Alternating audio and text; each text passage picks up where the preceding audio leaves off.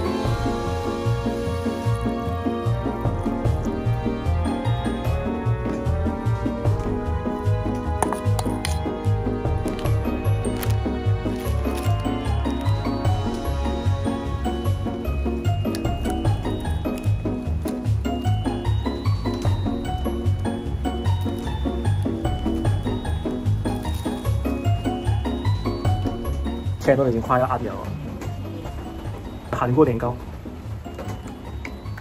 所以你们下次露营的时候呢，不妨可以试一试这个 recipe 了。拜。